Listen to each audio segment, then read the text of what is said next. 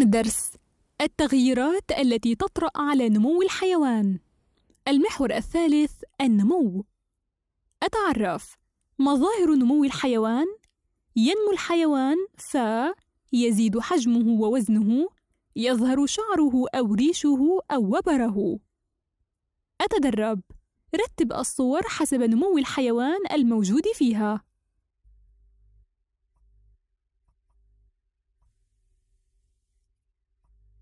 الإجابة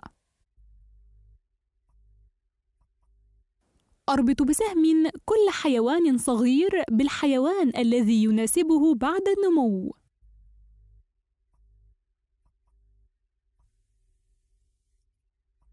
الإجابة